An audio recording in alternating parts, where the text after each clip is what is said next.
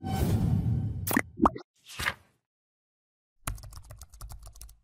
friends, in this quick tutorial I'm going to show you how to add captions to image in WordPress.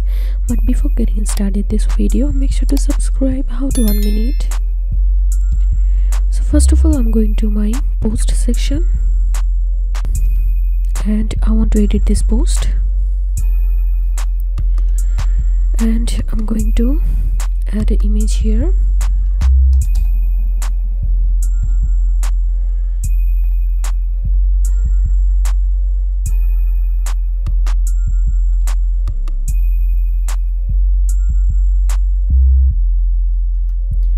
So after uploading the image here we can see the option to add caption so i'm giving here